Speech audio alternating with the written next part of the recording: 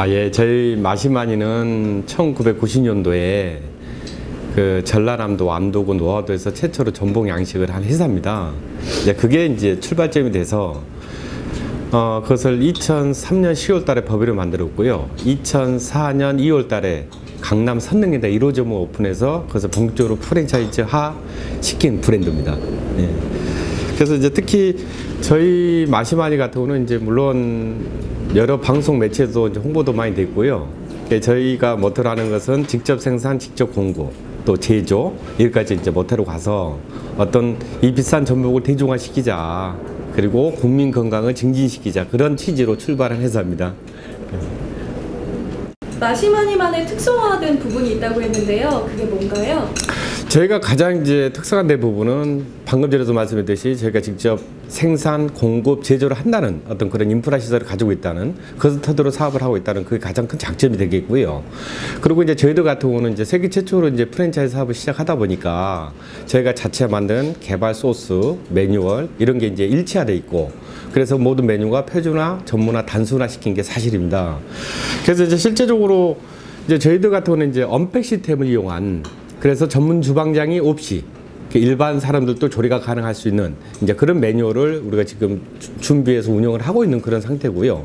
그래서 실제적으로 전복 요리하면 굉장히 비싸다, 뭐 힘들다, 어떤 전문가가 필요하다라는 고정관념 때문에 이제 실제적으로 굉장히 이제 그런 부분이 어려운데요. 이제 그런 부분 자체를 완전히 파괴시킨 게 저희 마시마니의 가장 큰 장점이라고 할 수가 있습니다. 마시마니의 대표 메뉴에 대해서 설명을 좀 부탁드릴게요. 아, 예.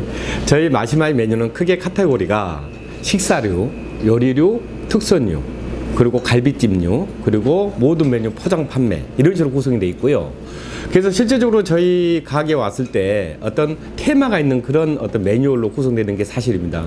그래서 식사하시고 포장 판매 가시고 어떤 샤브샵에 들려서 어떤 선물 세트도 포장해 가고요. 그리고 전복도 포장해 가는 그런 시스템인데요. 그 내년에는 직접 어떤 엘빙 체험 테마 여기까지 이제 준비하고 있는 게 사실이고요. 그리고 실질적으로 이제 저희 대표 메뉴로 이제 저희들이 이제 자랑한다면요. 그러니까 저희가 가장 자랑스럽게 생각하는 게 역시 전복장입니다. 이제 꽃게 간장 같이 조림인데요. 그것을 이제 저희는 삶습니다. 그래서 남녀노소도 다 조절할 수 있게끔 그렇게 이제 메뉴를 해서 그것을 포장 판매가 되고 있고요. 이제 그 다음에 저희가 SBS 마테마트에 나갔던 우리가 우리가 직접 지은 메뉴입니다. 전복 삼계탕인데 이름은 이제 해신탕. 아, 그게 이제 가장 큰 대표적인 메뉴라고 이제 자랑할 수가 있겠고요. 그 다음에 이제 역시나 이제 저희가 또 가장 강조하고 싶은 또 하나 메뉴가 있는데요. 역시 그게 이제 전복 매운 갈비찜입니다. 예, 그래서 이제 매운맛, 아주 매운맛, 보통맛 이런 식으로 해서 이제 젊은 사람들도 바로 우리 가게로 우리 마시마니에 이제 쉽게 접근할 수 있게끔 그리고 고기로도 있고- 있고요. 그리고 또 하나 대표적인 메뉴가 이제 역시 전복 삼합입니다. 예, 그래서 전복 삼합 같은 거는 이제 저- 돼지 수육하고 어떤 굴 무침하고 우리 전복찜하고 같이 해서 이제 삼합이 되고 있는 그런 메뉴고요. 그 실제적으로 저희가 메뉴로 놓은 것은 레시피가 한 100가지가 넘고요. 그 대표적인 메뉴가 이제 굉장히 많은데요. 이제 크게 그렇게 저희들은 이제 소개하고자 합니다. 예. 네, 이 외식 산업 메뉴에 이 아이템들은 어떻게 생각을 하시게 되셨는지. 실질적으로 제가 생각하는 우리나라가 너무 애식업이 가다 경쟁되는 게 사실입니다. 그리고 제가 보기에도 어떤 치킨, 고기 공화국이 아니냐. 그 실제적으로 손님들은 그런 얘기를 합니다. 갈 데가 없다. 갈 데가 없다. 그런 얘기를 참 많이 하는데요. 그리고 실제적으로 어떤 차별화된 메뉴가 없는 것도 사실일 거예요. 그래서 물론 저희들이 양식을 시작했지만 거기에 착안해서 어떤 특성화된 아이템을 만들자 해서 이제 전복 아이템을 이제 우리가 개발했던 거고요. 거기에 또 대중화를 위해서 전복의 매운 갈비점으로 예, 그렇게 했던 게 사실입니다. 예. 예, 실은 제가 전공이 이제 그림 쪽이었습니다. 예, 그래서 직장 생활에 이제 IT 솔루션, 그 스마트 카드 제가 1.5세 되었고요. 지금 현재 교통카드가 이제 모터가 되는 거죠. 이제 그러던 중에 이제 저희가 양식을 이제 최초로 시작을 했고, 그게 유통 쪽에 여러 가지 제한이 이제 저희들한테 이제 들어왔던 게 사실이었고요. 그래서 그 부분 자체를 어떤 애식 사업화 시키자. 그래서 이것을 가지고 프랜차이즈 시킨 게 이제 저희 회사고요. 그래서 실제적으로 소두에서 말씀드렸지만은 어떤 국민 건강 증진, 이 비싼 전복의 대중화, 그리고 젊은 사람도 쉽게 다가갈 수 있는 그런 메뉴를 구성했던 게 저희가 어떤 프랜차이즈 산업에 이제 지- 진입하게 된 계기가 됐던 거고요.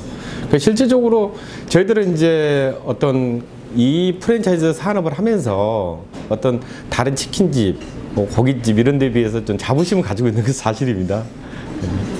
네, 프랜차이즈 산업을 하면서 어려웠던 점이 있을 것 같은데요. 예. 저희들은 이제 전복이라는 카테고리를 하다 보니까 사람들이 어떤 고정관념, 즉 다시 말하자면 비싸다, 그리고 어렵다, 그리고 투자를 많이 해야 될 거다, 그리고 하락해야 될 거다 이런 고정관념이 굉장히 컸던 게 사실이었습니다. 그리고 반드시 전문 주방장이 있어야 될 거다. 그 실질적으로 저희가 최초했던 것은 이제 브랜드가 참 전복말이었습니다. 그래서 식 그 코스로 종류를 쭉 했던 거거든요. 그래서 뭐 인당 6만 원, 8만 원, 12만 원짜리 그런 메뉴로 했던 게 사실이었습니다. 그래서 이제 그 전문 주방장 때문에 굉장히 어렵던 부분이고요. 그래서 그 부분 자체를 이제 코스를 단품화 시켰던 겁니다. 그래서 맛이 많이 전복은 매운 갈비찜이 탄생했던 계기가 됐던 거고요. 그래서 실질적으로 그것을 모든 것을 다 엄폐가 시켰습니다. 저희들은. 그래서 전문 주방장이 오게끔 할 수 있게끔 그렇게 지금 진행을 하고 있고요. 이제 그게 이제 저희들의 큰 자랑이다, 이제 강점입니다. 이제 그런 어떤 고정관념을 극복하는 게 가장 어려웠던 게 아닌가. 그리고 실제적으로 저희가 이 산업을 이제 사업을 시작을 하면서요. 전복이라는 어떤 그 고정관념을 깨는 게 저희들도 예상했던 건데 역시 예상대로 어, 나왔던 것은 사실이고요. 어, 그래서 지금 극복했던 것은 이제 일반 아줌마들도 바로 주방에서 요리할 수 있게끔 음, 그렇게 진행을 하고 있고 그렇게 하고 있습니다. 예. 이 마시마니가 창업자들에게 장점이 될 수 있는 점 뭐가 있을까요? 역시나 저희 가장 큰 장점은 직접 생산, 직접 공급, 지조 이런 인프라 시스템을 저희가 확실하게 구축하고 있고 그것을 실행하고 있다는 거죠.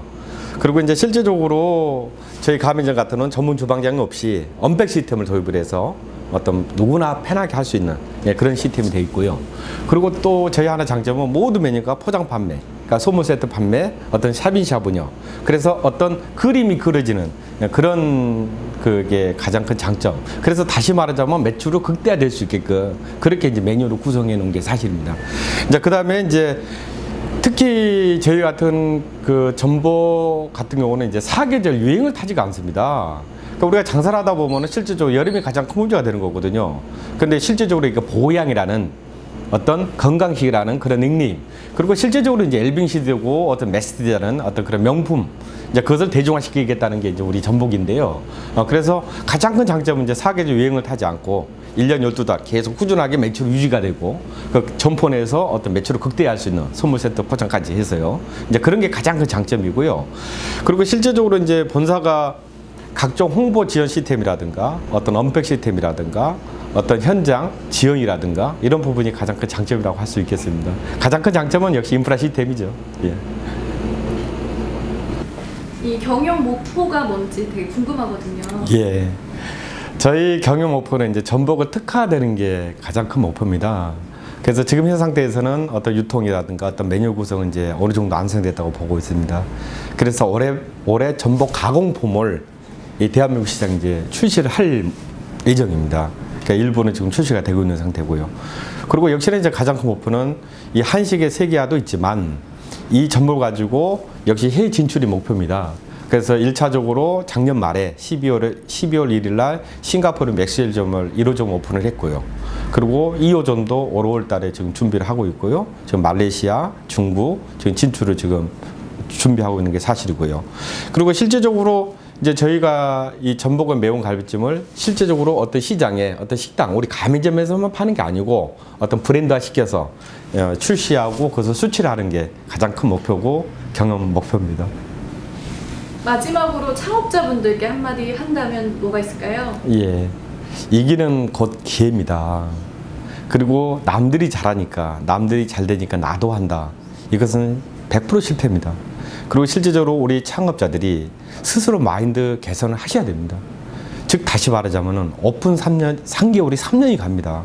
결과적으로 이 창업은 꾸준하게 자기 개선, 그리고 자기 마인드 함양, 그리고 엄청난 개발 연구가 필요하다 할 것입니다. 그러나 실제적으로 창업 현실에서 봤을 때 그냥 오픈하면은 손님이 들어온다. 그리고 차별화되지도 않는 남들이 장사되니까 나도 하겠다. 이런 것을 실질적으로 버리셔야 됩니다. 그러다 보니까 결과적으로 문 닫는 현상이 일어날 수밖에 없는 거고요. 실제적으로 우리 창업자들이 어떤 스스로 어떤 긍정에 스스로 변화된 그런 마인드를 가지셔야 되거든요. 이 얼마나 어떤 창조 경쟁, 경영, 경제 이런 게 많이 대두가 되는 그런 현실이 않습니까? 그래서 이제 그런 부분에 대해서는 어떤 우리 창업자 스스로가 어떤 마인드, 함양이 굉장히 중요하다 생각하고요. 그래서 항상 어떤 도전 의식이 있어야 된다고 생각합니다.